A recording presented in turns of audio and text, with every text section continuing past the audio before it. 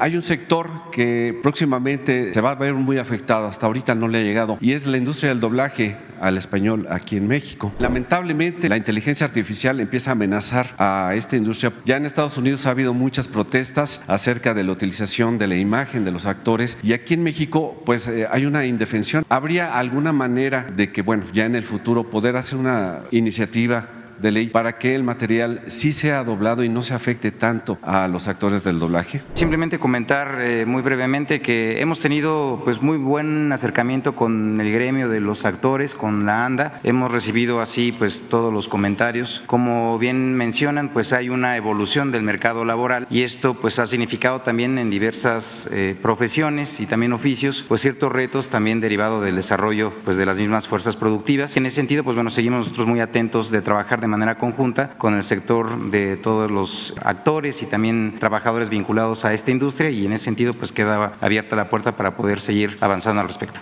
Yo me acuerdo de, del finado Arbizu, de Don Gato y su pandilla. Él hacía creo que a Benito, sí, gran actor y además trabajaba en eso de manera extraordinaria y en todo lo que podamos nosotros ayudarlos para que no sean desplazados, que se proteja con leyes para que este, se siga utilizando su creatividad, su talento. Qué bueno que lo planteas. Son de las cosas que se tienen que ir regulando para que no se afecte a los trabajadores.